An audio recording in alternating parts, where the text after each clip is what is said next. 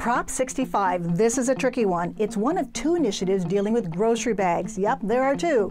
Prop 65 says if grocery stores charge customers for carry-out bags, the money would have to go into a state fund for the environment.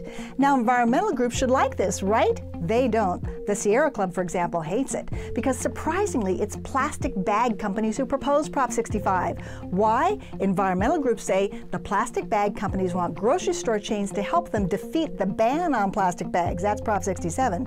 One way to get the grocery stores to help them defeat the ban is to be sure they don't make money on the sale of the other bags. I know, confusing. The plastic bag makers say they simply want to use the money from the sale of carryout bags to benefit the environment. Now, this is one prop where you should pay attention to who's behind it. If you want to go along with the plastic bag companies, vote yes on Prop 65. If you want to go along with environmental groups, vote no on 65.